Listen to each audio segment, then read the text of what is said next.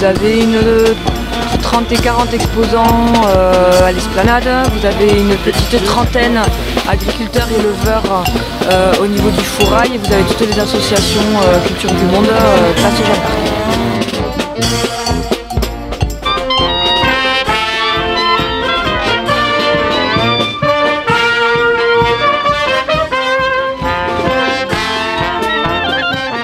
C'est une fierté, d'abord parce que la fête de Lanzette est euh, toujours là et que ceux qui ont repris euh, le flambeau sont des gens extraordinaires et qui euh, apportent une touche de fraîcheur, des nouveautés également, avec une ambiance extrêmement intéressante pour, on va dire, l'image de la ville.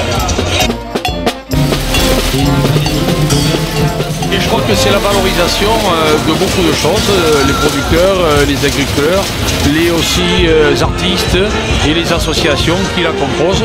Et je crois que c'est quelque chose qui mérite d'être mis en avant et ça fait partie de l'originalité des nouveautés que nous avons voulu apporter. Et je crois que c'est dans ce sens que nous irons pour l'avenir.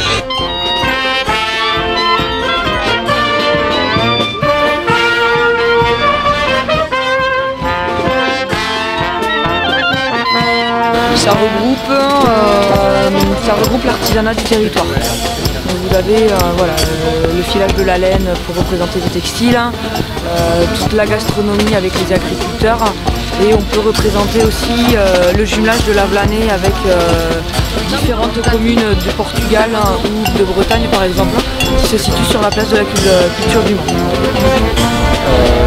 L'idée c'était de faire une course conviviale et de mettre en avant euh, les produits du terroir sur les ravitaillements et lors également des corbeilles de récompense et à travers aussi le cadeau de bienvenue.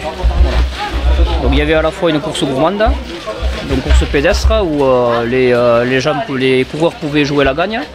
Également une balade gourmande où, c'était plus à l'esprit promenade. Donc je crois qu'on est à 92 participants sur la course et 70 participants sur la randonnée.